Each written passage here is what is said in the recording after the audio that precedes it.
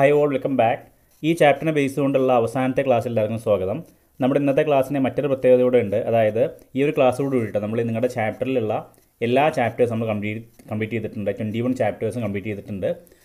ഇനി അറിയാലോ നിങ്ങളുടെ മുമ്പിൽ വളരെ കുറച്ച് സമയം മാത്രമേ ഉള്ളൂ. എക്സാം നമ്മൾ എക്സ്പെക്ട് ചെയ്യുന്ന ഫെബ്രുവരിയിലാണ് ചിലപ്പോൾ ഫെബ്രുവരി ലാസ്റ്റൊക്കെ ആയിരിക്കാം. അല്ലെങ്കിൽ മിഡ് ആയിരിക്കാം. അതാണ് എക്സ്പെക്ട് ചെയ്യുന്നത്. അപ്പോൾ നമ്മൾ എല്ലാ ചാപ്റ്ററും കംപ്ലീറ്റ് ചെയ്തിട്ടുണ്ട്. ചാപ്റ്റേഴ്സ് വീഡിയോ കൂടാതെ. നിങ്ങൾക്ക് ഈ നമ്മുടെ ചാനലിൽ ഒരു മറ്റ് ഒരുപാട് കാറ്റഗറീസ് കാണാൻ പറ്റും. അതായത് എം സി ക്വസ്റ്റ്യൻസും പിക്ചർ ബേസ്ഡ് ക്വസ്റ്റ്യൻസും കഴിഞ്ഞ വർഷത്തേക്കുള്ള കഴിഞ്ഞ ഒന്ന് രണ്ട് വർഷത്തെ മോഡൽ ക്വസ്റ്റ്യൻ പേപ്പേഴ്സ് എല്ലാം കാണാൻ പറ്റും. അതുപോലെ ചാപ്റ്റർ വൈസ് ആയിട്ടുള്ള ഇമ്പോർട്ടന്റ് ആയിട്ട് വരുന്ന ട്വിസ്റ്റഡ് ക്വസ്റ്റ്യൻസ് കാണാൻ പറ്റും. മറ്റൊരു കാര്യം ഈ ചാനൽ കൊടുത്തിരിക്കുന്ന മോഡൽ ക്വസ്റ്റ്യൻ പേപ്പേഴ്സ് അത് കഴിഞ്ഞ വർഷത്തെ ആണെങ്കിലും അതിന്റെ പ്രീവിയസ് ഇയറിലെ ആണെങ്കിലും ഒക്കെ നിങ്ങൾക്ക് ഇപ്പോൾ യൂസ് ചെയ്യാൻ പറ്റും. അതിൽ വലിയൊരു ചേഞ്ച് ഒന്നും വന്നിട്ടില്ല. ചേഞ്ച് എന്ന് പറയുന്ന ആ മാർക്കിൽ മാത്രമേ ചേഞ്ച് വന്നിട്ടുള്ളൂ. തീർച്ചയായിട്ടും അതിലെ ക്വസ്റ്റ്യൻസ് എല്ലാം നിങ്ങൾക്ക് യൂസ് ചെയ്യാം. നിങ്ങൾ ജസ്റ്റ് ആ പ്ലേലിസ്റ്റ് ഒന്ന് നോക്കുക ഓക്കെ നമുക്ക് സ്റ്റാർട്ട് ചെയ്യാം. നമ്മൾ കഴിഞ്ഞ ക്ലാസ്സോട് കൂടിയിട്ട് നമ്മൾ ഈ ക്ലാസിഫിക്കേഷൻ എല്ലാം കംപ്ലീറ്റ് ചെയ്തിട്ടുണ്ടായിരുന്നു. ഇനി നമുക്ക് രണ്ട് ടോപ്പിക്ക് മാത്രമാണ് ഈ ചാപ്റ്ററിൽ ബാക്കിയുള്ളത്. അതിലെ ഫസ്റ്റ് ടോപ്പിക്കാണ് ഹസാർഡ്സ് ഓഫ് മൈനിങ് നമ്മൾ പറഞ്ഞിട്ടുണ്ടായിരുന്നു മൈനിങ് ആണ് നമ്മൾ ഈ പറഞ്ഞ പല മിനറൽസ് നമ്മൾ എക്സ്ട്രാക്റ്റ് ഉപയോഗിക്കുന്ന ടെക്നോളജി പറയുന്ന ഇമ്പോർട്ടന്റ് ആയിട്ട് മൈനിങ് ആണ്. എന്നാൽ ഈ മൈനിങ് ടെക്നോളജിക്ക് അതിന്റേതായിട്ട് കുറച്ച് ഡീമെറിറ്റ്സ് കൂടെ ഉണ്ട്. നമുക്ക് നോക്കാം. Mining is a hazards hazardous industry due to the following reason അതായത് ഡേഞ്ചറസ് ഇൻഡസ്ട്രിയാണ് നമുക്ക് കാരണങ്ങൾ നോക്കാം. First reason no natural light inside the mines make working tougher നമ്മളിപ്പോഴും നമ്മൾ പല ഇന്ത്യയുടെ പല ഭാഗത്തും ലോകത്തിന്റെ പല ഭാഗത്തും ഉപയോഗിക്കുന്ന മൈൻസിലൊക്കെ പലപ്പോഴും ലൈറ്റ് കുറവായിരിക്കും. നാച്ചുറൽ ലൈറ്റ് ഇൻസൈഡിൽ കുറവായിരിക്കും.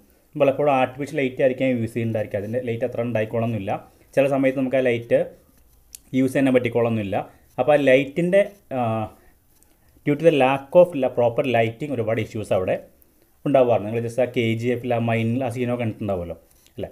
ഇനി risk to risk to life due to collapse of roofs overflow of water and fire ഇതൊക്കെ അവിടെ ഉണ്ടാവും. ചിലപ്പോൾ റൂഫ് കൊളാപ്സ് ആവാം വാട്ടറിന്റെ ഫ്ലോ ഉണ്ടാവാം ഫയറിന്റെ ഇഷ്യൂസ് ഉണ്ടാവും. ഇതൊക്കെ അതിനെ ഹസാഡസ് ആക്കുന്ന മറ്റ് ഫാക്ടേഴ്സാണ് ഇനി third one dumping of waste and slurry leads to degradation of soil and river pollution ഈ മൈനിങ്ങിൽ നിന്ന് ഉണ്ടാകുന്ന പൊല്യൂഷനാണ് പറയുന്നത്. പലപ്പോഴും നമ്മൾ സ്ലറി ആ ലിക്വിഡ് ആയിട്ടുള്ള സെമി ലിക്വിഡ് ആയിട്ടുള്ള വേസ്റ്റ് അതുപോലെ വാട്ടർ വേസ്റ്റ് എല്ലാം പുറത്തു വിടാറുണ്ട്. തീർച്ചയായിട്ടും അത് പൊല്യൂഷന് കാരണമാകുന്നുണ്ട് and the last one the dust and harmful fumes cause pulmonary diseases to miners അവിടുന്ന് വരുന്ന ഡസ്റ്റ് അല്ലെങ്കിൽ ഫ്യൂം ഫ്യൂം എന്ന് പറയുന്നത് ആ ടോക്സിക് ആയിട്ടുള്ള സ്മോക്കിനൊക്കെ പറഞ്ഞവരാണ് ഫ്യൂം എന്നുള്ളത്. അതൊക്കെ എന്താവും? നമുക്ക് പൾമണറി ഡിസീസ് ഉണ്ടാക്കാം മീൻസ് ലങ് ഡിസീസ് കാരണമാണെന്നാണ് പറയുന്നത്. അപ്പോൾ നമുക്ക് ഇൻഷോർട്ട് ഇങ്ങനെ പറയാം. Safety regulation should be made strict ഇതെല്ലാം കൊണ്ട് നമുക്ക് എന്ത് ചെയ്യണം? അവിടെ സ്ട്രിക്റ്റ് ലോ കൊണ്ടുവരണം. എന്തിനാ അവിടെ ആ ഒരു സ്ട്രിക്റ്റ് ആയിട്ട് ലോ കൊണ്ടുവരണം നമുക്ക് ഈ ആസാഡസ് കുറയ്ക്കാൻ വേണ്ടിയിട്ട്.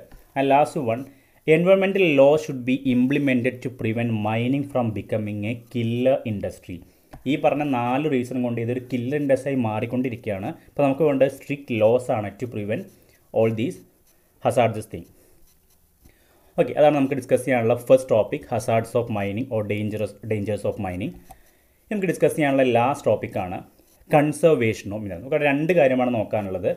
Why should we conserve minerals and how can we conserve mineral resources നമുക്ക് ആദ്യം ഫസ്റ്റ് പാർട്ട് നോക്കാം. Why should we conserve mineral അവിടെ നമുക്ക് മൂന്നോളം പോയിന്റാണ് വരുന്നത്.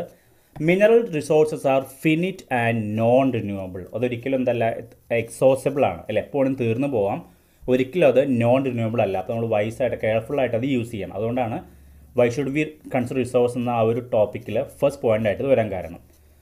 ഇനി second one we are rapidly consuming mineral resources നമ്മുടെ പലപ്പോഴും നമ്മുടെ ഗ്രീഡ് കൊണ്ടൊക്കെ നമ്മൾ പലപ്പോഴും ഓവർ യൂസ് ചെയ്യുന്നുണ്ട്. എക്സ്പ്ലോയിറ്റ് ചെയ്യുന്ന നമ്മൾ മിനറൽസ് എന്ന് പറയുന്നത് വി ആർ റാപ്പിഡ്ലി കൺസ്യൂം വളരെ പെട്ടെന്ന് നമ്മളത് തീർത്തുകൊണ്ടിരിക്കുകയാണ്.